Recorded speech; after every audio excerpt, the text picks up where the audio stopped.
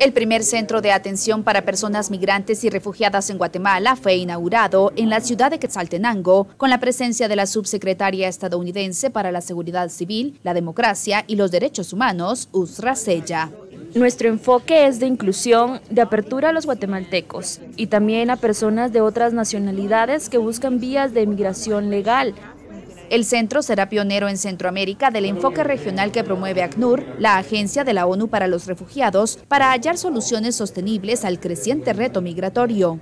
Que se fortalezcan eh, los sistemas de, acogida y de refugio la iniciativa hace parte de los programas anunciados por la vicepresidenta estadounidense Kamala Harris durante su visita a Centroamérica. Ofrecerá servicios de orientación e información, asistencia humanitaria y detección e identificación de casos de personas que necesiten protección internacional.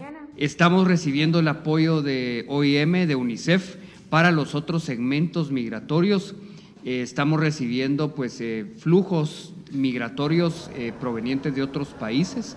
Centros similares funcionarán también en departamentos que reflejan alto porcentaje de migración, como Huehuetenango y San Marcos, y se habilitarán unidades móviles a lo largo de las rutas migratorias para la atención y referencia de personas migrantes en tránsito o posibles contextos de emergencia. Eugenia Sagastume, Voz de América, Guatemala.